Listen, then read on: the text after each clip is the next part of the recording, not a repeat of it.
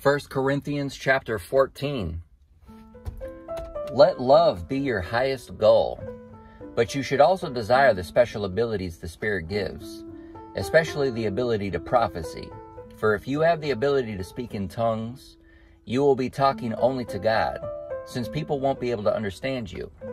You will be speaking by the power of the Spirit, but it will be all be mysterious.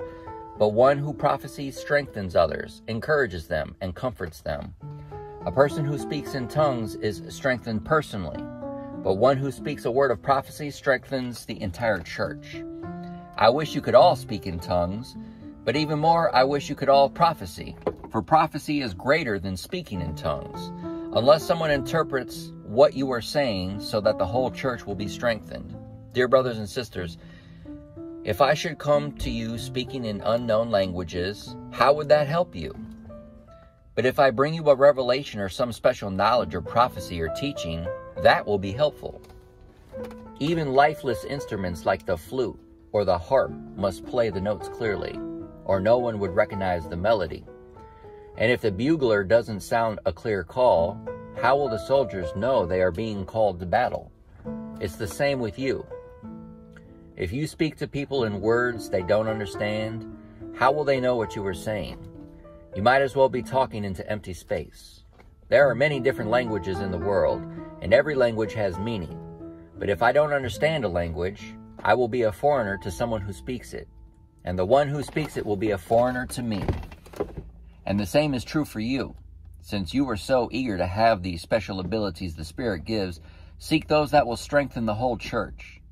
So anyone who speaks in tongues should pray also for the ability to interpret what has been said.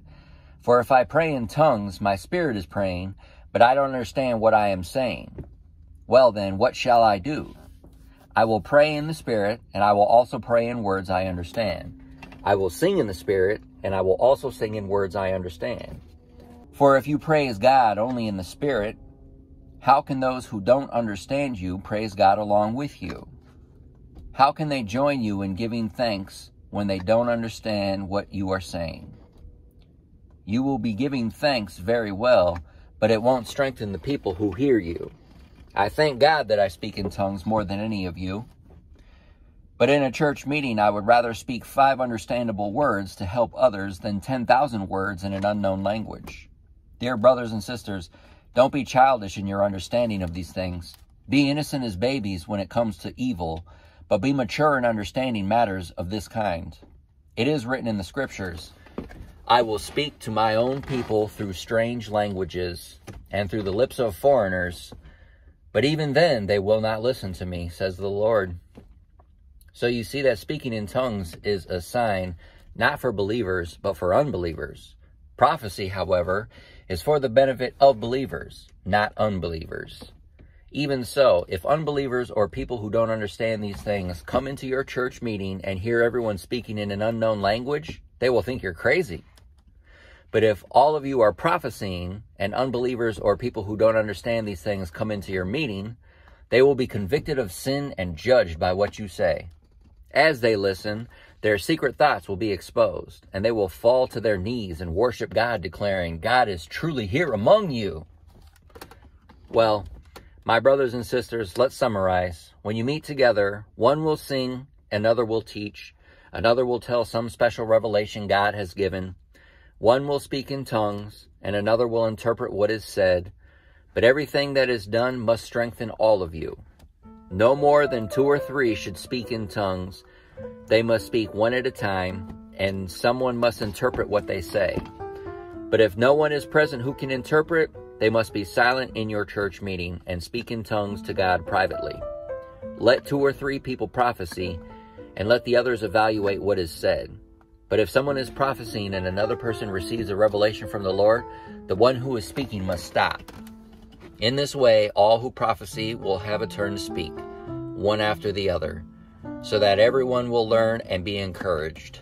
Remember that the people who prophesy are in control of their spirit and can take turns.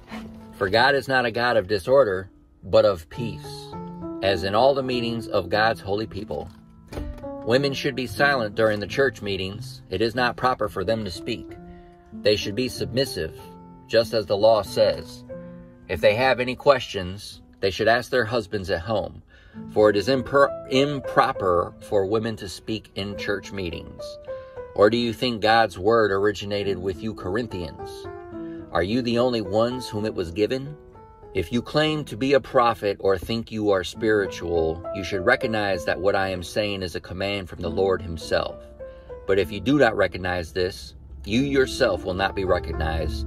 So, my dear brothers and sisters, be eager to prophecy and don't forbid speaking in tongues. But be sure that everything is done properly and in order.